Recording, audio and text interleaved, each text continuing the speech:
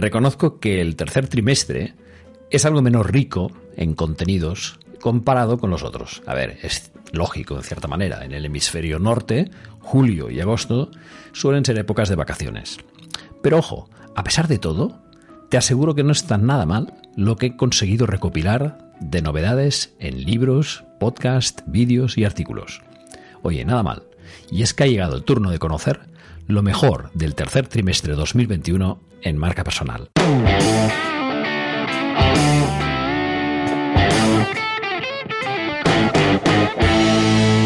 Hola, soy Guillem Recolons y te doy la bienvenida a Todo de Jamarca, tu podcast de marca personal.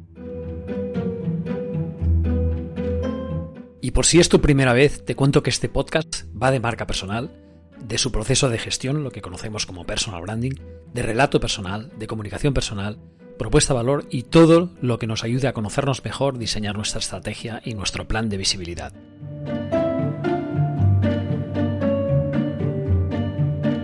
Empezaremos por libros interesantes. Entre lo que he leído de no ficción, yo destacaría tres títulos. El primero, que me ha gustado muchísimo, Marketing para escritores, escrito por Neus Arqués, publicado por Alienta, en octubre, bueno, en septiembre de 2021. En, de hecho, es una reedición de una, una, actualización de una excelente hoja de ruta que Neus publicó con Alba Editorial en el año 2009. Por tanto, no es un libro nuevo, pero eh, lo leí hace muy pocas semanas y me dejó una huella muy positiva. Neus, ya la conocéis, Neus Arqués, la que llaman la madre de la marca personal, porque publicó ¿Y tú qué marca eres? en hacia 2008, pero también es formadora, consultora y ya imaginarás que este libro tiene toda la autoridad del mundo, ¿eh? porque ha escrito nada menos que 14 libros Neus, por tanto sabe un poquito de marketing para escritores. Tiene cinco partes, la primera es más genérica, ¿eh? una introducción sobre el libro en la industria editorial, luego habla de las claves del marketing para escritores, después las estrategias de visibilidad, el plan de marketing online y un bonus track sobre el futuro del libro y autor, que pone en valor una idea que me ha parecido brillante, que dice así que nos lean será más importante que publicar. Ahí lo dejo, pero tiene toda la razón. En plena economía de la atención, que nos lean es mucho más importante que publicar. Y hoy la guerra está en la atención. Bien, el segundo es Una dulce historia.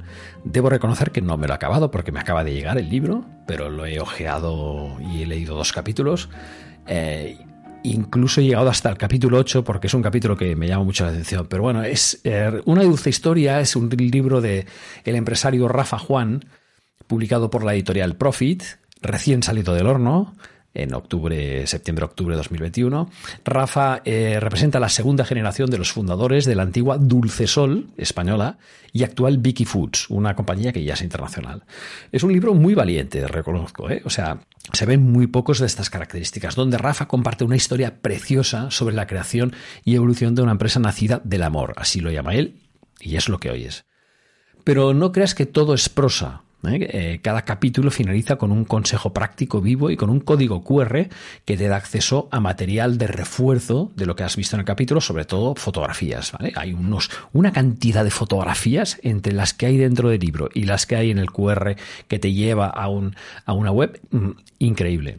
Y la verdad es que me llega al alma, como os decía antes, el capítulo octavo que trata de los valores como pilares del presente y del futuro. Ya sabéis que yo defiendo mucho este tema y creo que acierta cuando afirma que en una empresa los valores deben agruparse en una visión compartida. Y repito, compartida. Tenerla quizá no sea la clave del éxito, pero no tenerla es con toda probabilidad la clave del fracaso. Y el tercer libro es Cirugía para el Alma, escrito por el doctor Ramón Vila Rovira, eh, de la editorial Plataforma Actual y publicado en 2015. Por tanto, no es un libro nuevo ni tiene aparentemente una relación muy directa con la marca personal. Pero tras su lectura, te aseguro que es un perfecto manual de marca personal.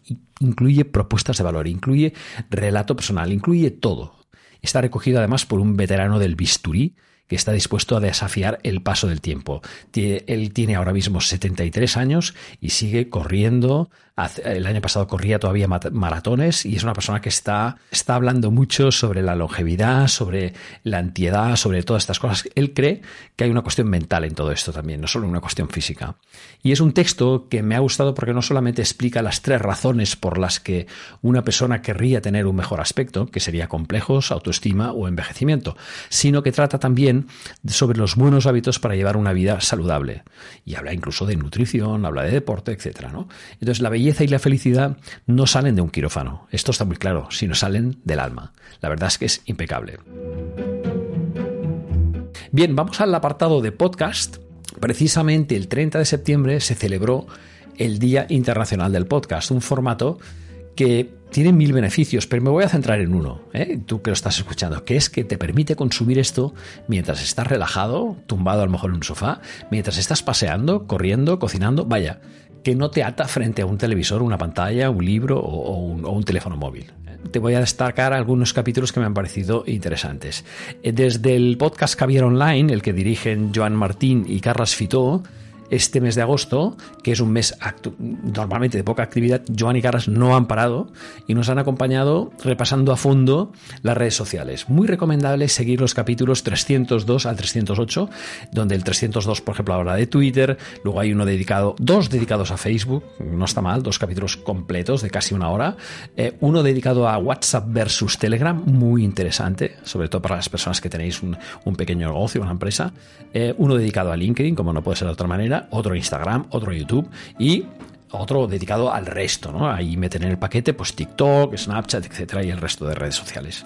Bien, en el podcast Humanismo Digital de Joan Clotet te recomiendo todo su contenido siempre, pero este trimestre este, destacaría dos, dos posts que me han llegado bastante al alma. Uno se llama Caer y levantarse. Es una entrevista con Antonio Tomaso.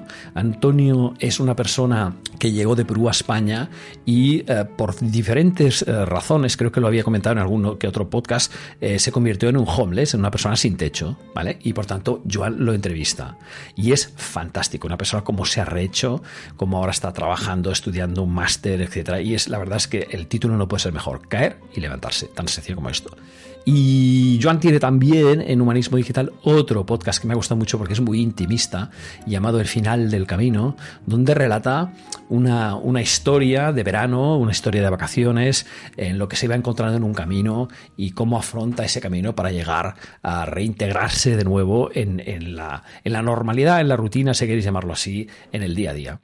Bien, desde el podcast TED en español, dirigido por Jerry Gapluski, organizador del TED Río de la Plata, eh, lo mejor que ha hecho este tercer trimestre para mí son, bueno, que ha publicado, son eh, tres, destaco tres eh, capítulos. Uno es cómo terminar con el ciberacoso, basado en un TED de Irene Montiel, muy interesante, sobre todo para aquellas personas que tengáis mm, miedo, que alguna vez hayáis sufrido ciberacoso. La verdad es que Irene da algunas claves muy, muy, muy, muy fáciles de aplicar. El segundo es la cultura de cancelación con eh, Joaquín Sánchez Mariño, muy interesante también. Y luego uno que me ha parecido brillante en su planteamiento, que se titula Trabajar juntos sin tener que estar de acuerdo, con María Emilia Correa, que plantea esta, este conflicto que se suele generar muchas veces en los equipos, de que no están de acuerdo, pero a pesar de todo, da algunas claves de cómo superar ese momento a pesar del desacuerdo. No es, no es que sea un, un, TED sobre negociación, pero sí sobre, sobre empatía, sobre todo, sobre empatía y asertividad. Bien, desde el podcast Actualiza Retail de mi buen amigo Celestino Martínez, eh, bueno, ya sabéis que Celestino se ha especializado en, el análisis y en el impulso del comercio local, yo creo que es uno de los uno de los grandes especialistas, por lo menos de España, con episodios de lo más práctico para todo el mundo retail. ¿eh? Y yo destacaría dos episodios que me han llamado mucho la atención este tercer trimestre. El primero es uno que, tiene un título fantástico. El título dice así, el cliente siempre tiene razón, pero tres puntos suspensivos, ¿vale? Y entonces ese pero es lo que te descubre ahí, decir, bueno, hay ciertas líneas rojas, ¿no? No siempre tiene razón. Y el segundo que me pareció brillante es qué hacer con los locales comerciales vacíos. Claro, él plantea qué es lo que ha pasado eh, durante todo este tiempo de COVID, que muchas zonas comerciales de las ciudades se han, mm, han tenido que cerrar muchísimos comercios, ¿no? Eh, y explica de qué manera se puede revitalizar esas zonas para que no caigan en el olvido y se conviertan en zonas eh, deprimidas de grandes ciudades, como ya se ha empezado a ver. En el capítulo de otro podcast destacaría eh, Conectando Puntos, el, podcast de Chema Cepeda, eh, y ahí hay uno que se llama El sesgo de mi sesgo, que me ha parecido muy bueno. Desde Lunes Inspiradores, que es el podcast de Edu Pascual y David Tomás, te recomiendo el episodio Las claves de la transformación personal con Natalie Detri, eh, muy, muy potente, una gran propuesta de valor la que hay ahí detrás. Y desde el podcast Escribir para Vender de Maider Tomasena te destaco, eh, porque tengo una cierta pasión por el tema, lo tengo que reconocer, storytelling construye historias con gancho. Y además, Maider siempre explica cosas eh, de una manera muy clara y con formatos muy breves y muy concisos, con lo cual es muy recomendable seguirla. Bien, en cuanto a artículos escritos, para mí lo mejor del tercer trimestre, pues hay todo un conjunto de, artículos que no los voy a comentar porque si no este podcast sería largo. También decirte que en mi revista digital de Flipboard Todo deja marca los puedes encontrar todos, puesto que cuando leo un artículo relacionado con la marca personal y me gusta, lo cuelgo en la revista inmediatamente, Todo deja marca en Flipboard. Empezaré con un, artículo sobre creatividad y marca personal de Neus Arqués, que es muy interesante, cómo relaciona ambos conceptos. Otro de Xavi Roca, que se titula ¿Cuáles son tus métricas? Otro de Ronald Durán llamado Minimalismo y marca personal, eh, y es un artículo minimalista en sí mismo también otro llamado Gamers, YouTubers y TikTokers, profesionales con futuro o moda pasajera, de Nilton Navarro. Ya sabéis que Nilton eh, nunca deja indiferente, con lo cual vale la pena leerlo.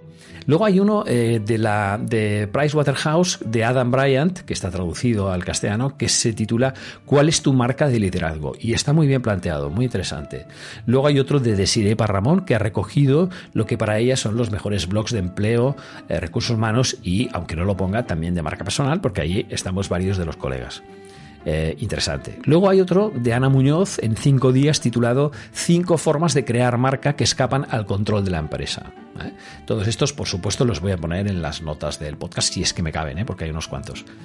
Eh, luego hay otro de William Arruda en Forbes, que es el retorno del QR y su importancia en marca personal. Y la verdad es que es muy sorprendente que algo tan concreto pueda tener y tan, en fin, tan, tan mundado puede tener tanta importancia, pero la verdad es que sorprende. ¿eh? Bien, Pablo Adán también vuelve a sorprender, como siempre, es, mi canalla de la marca personal, con el, título de su artículo Iniciativa y Proactividad, qué bien suena, ¿Vale? Ya sabéis que él tira mucho de sátira. Fran Segarra destacaría varios, pero eh, Formar sin formar es uno que también em, apunta, apunta muy bien, sobre todo eh, todas las personas que tienen que dar talleres, charlas, etcétera, en temas de formación, pues bueno, de qué manera se puede hacer eh, para que llegue de una manera mucho más asertiva. Luego está Isabel Santandreu, eh, Santandreu que nos presenta mis mejores libros de marca personal, ¿vale? Es un recopilatorio de libros en el que tengo el honor de aparecer junto con los mejores de los mejores de los mejores, con lo cual un gran honor, gracias Isabel. Luego está eh, de Andrés eh, destaco un par de posts. El primero se llama Mercado, eliminar intermediarios. Luego hablo de otro, muy, muy interesante este. Andrés siempre habla en términos muy, ah, muy mercantiles sobre la marca personal, pero al final lo aterriza en el aspecto humano, muy interesante. Xavi Roca tiene otro que me gusta, que es El poder del pesimismo y que también sorprende puesto que todos tenemos el pesimismo como algo muy negativo, pero Xavi explica de qué manera el pesimismo nos puede en algún momento salvar de alguna situación muy compleja. ¿no? Por tanto, está muy bien. Laura Ferrara eh, escribió uno que tiene un título muy abativo, que es Bruce Lee y la ley del contraste para vender más. Laura se está especializando más en esta parte más dura de la venta. Celia Hill ha publicado eh, Gestionar eficazmente la identidad digital del talento senior. Ya sabéis que Celia se está especializado en esta materia y en marca personal también, por supuesto, pero sobre todo el tema senior está ahí eh, muy fuerte. Jesús González Amago escribe en eh, The Topic Trend Personal Branding, lo personal y la política tienen cabida en LinkedIn y es un muy buen post con muchas referencias y, y, Jesús es de los que le gusta plantear cosas que, que, que están en el límite de la ética, ¿no? Con lo cual está muy bien.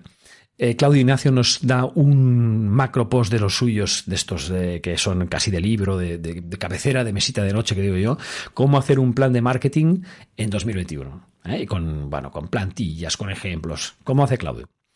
Eh, Andrés tiene otro muy interesante, este muy reciente, llamado Profesional Libre. La libertad se consigue generando opciones, no limitándolas. Y Vladimir Estrada, por fin volvemos a tener al profesor con nosotros después de un tiempo que lo ha pasado bastante mal, sus problemas de salud, el COVID por medio, etcétera, lo han tenido apartado de la vía pública, pero ha vuelto y como siempre ha vuelto con toda la energía. Ya es el segundo post que publica. Eh, el primero hablaba sobre temas de blogs, eh, con, un estudio que está haciendo sobre el tema del blogging, pero el último se llama No me contrates y nos da 50 razones por las cuales eh, no contratarías a, a una persona. Y la verdad es que son fáciles de ver, potentes y luego lo extiende, lo explica, etcétera. Pero las 50 razones son, son clave, son frases muy cortas y la verdad es que son, algunas son incluso dolorosas, ¿no? De, de, de la razón que llega a tener el profesor. Bueno, y destaco el último, en este caso de escrito, que sería el de Nancy Vázquez en, Soy mi marca. Soy mi marca ha vuelto a la carga, eh, tengo bastante que ver en todo eso, y se titula Marca personal para mujeres líderes. Y la verdad es que es un alegato de liderazgo femenino que mm, recomiendo a todo el mundo, eh, hombres y mujeres. De verdad, muy, muy interesante. Gracias, Nancy. Bien, en vídeos destaco el de una entrevista que hicieron los chicos de Más allá de la marca personal a Joan Clotet. La entrevista está en YouTube, se titula Humanismo digital, liderazgo, propósito, tecnología, organizaciones, talento. Y es que hay mucha información, porque es, son prácticamente dos horas de entrevista, o sea, esta es para ponértela casi casi escucharla en formato podcast, porque la verdad es que vale muchísimo la pena. Y luego hay otro de Héctor Jiménez, desde Colombia o Argentina o Panamá, porque a veces está en un sitio, a veces está en el otro, que se titula Emprendimiento, qué es y cómo posicionarlo con tu marca personal. No solo es un vídeo, es un show. O sea, la cantidad de roles que puede llegar a, ejercer en un vídeo este hombre es, vamos, yo me saco el sombrero. Y Anthony Veneciane, de los centenares de vídeos TED que yo veo eh, cada mes, cada semana, destaco este, que es, un, es, un, es un fenómeno. Es un, es un señor al cual eh, sale en una charla TED con miles de personas y le dicen, eh, te vas a hablar de este tema que ha elegido el público. Él no tenía ni idea de qué tema hablaría, no lo cuento, ¿eh? porque prefiero que lo veáis vosotros mismos. Y además pasan unas 20 diapositivas que él jamás ha visto. Por tanto, él tiene que ir hablando y de repente decir, y ahora vais a ver cuál es la clave de todo lo que estoy explicando ahora. Y claro, de repente aparece, pues no sé, me lo invento, una merluza, ¿no? Con lo cual él tiene que relacionar la merluza con todo lo que, estaba haciendo. Es una obra de arte y, y vamos, es para aplaudir con las orejas. Bien, entre mis cosas, lo mejorcito del tercer trimestre, no dicho por mí, sino sobre todo dicho por mi público, porque ha sido lo que más ha gustado, yo destacaría en el podcast Todo de Jamarca, que es este que estás escuchando ahora, todos aquellos capítulos que tienen que ver con eh, mis diálogos con la robot Gabriela Fitzgerald. Y en estos tres meses he publicado seis de estos, que todos son conversaciones. Una sobre creatividad, otra sobre la imaginación, otra sobre la intuición, otra sobre la improvisación, otra sobre la persuasión y otra sobre la curiosidad. Fijaros que todo esto son rasgos que nos diferencian mucho de los robots. Por tanto, las conversaciones no dejan de ser, eh, bueno, bastante interesantes e incluso con un puntito de, cierta ironía y humor. Bien, en artículos del blog, de los 13 que he publicado, voy a destacar cuatro por la repercusión que han tenido. Uno se titula Alguien ha visto la confianza, hace años que no la veo y se refiere a la versión, los datos de España del estudio del Mantrust. En, en, febrero os hablé del estudio del Mantrust a nivel global, que con una pérdida de confianza eh, espectacular derivada de, la mala gestión del COVID que han hecho la mayor parte de los gobiernos del mundo, eh, pero este está en concreto en España. Y te diré que hay datos buenos y datos malos eh, porque la verdad es que ahí verás un poquito qué es lo que ha pasado. Luego está el legado, cuando la marca sobrevive a la persona. Es un post muy intimista eh, que lo escribí porque en julio tuve la desgracia de que uno de mis mejores amigos eh, pues murió de una manera completamente, en fin, inesperada. Y la verdad es que mm, me quedé muy pensativo y eso me llevó a pensar cuál es el legado, cómo la marca sobrevive a la persona y una serie de reflexiones que, bueno, pues que te invito a leer. Y mm, otro sería, un tercero sería personal branding en la empresa, aplicaciones pros y contras. Esta es la reedición de un post de 2017 que he puesto al día, puesto que han pasado muchas cosas, muchísimas, han aparecido nuevas disciplinas que se pueden integrar dentro del personal branding en la empresa, nuevas herramientas, nuevas, incluso nuevas plataformas sociales, nuevas plataformas digitales, etc. con lo cual este eh, te lo recomiendo especialmente si quieres saber cómo se aplica el personal branding en una empresa, porque la verdad es que hay un campo de aplicación impresionante y con un retorno muy bueno. Y el último eh, que te recomiendo de artículo del blog sería ingenuidad digital y reputación omnicanal. Ingenuidad digital se refiere al hecho de que muchas personas piensan que pues, por el hecho de no estar, no sé, en TikTok, su reputación ahí es impecable y a lo mejor resulta que lo están dejando con el nombre del cerdo. Entonces, explico que una cosa es no estar en una red social y otra es no monitorizar en las redes para conocer un poco cuál es tu reputación ahí. Y hoy la reputación, como digo, es omnicanal. Bien, en entrevistas eh, que me han hecho, destacaría la que me hizo Rubén Montesinos cuando estrenó su canal de YouTube. Todo un honor, Rubén, muchas gracias por pensar en mí para abrir el canal. Se llama el Guillem de Colons, el señor lobo del personal branding. Y ya sé de dónde viene eso, porque aquel día yo llevaba una camiseta con una imagen del señor lobo eh, que es la, bueno, el señor Harry Keitel en la película Pulp Fiction, que actuaba, pues bueno, era un señor que limpiaba las escenas del crimen con una propuesta de valor muy clara, que es resuelvo problemas. O sea, me encargo de, de limpiar el lugar del crimen en cuestión de minutos. Bien, desde Panamá me entrevistó Silvina Luna, una, una coach y una periodista muy importante, argentina, por cierto, eh, el título de entrevista es El poder de la marca personal.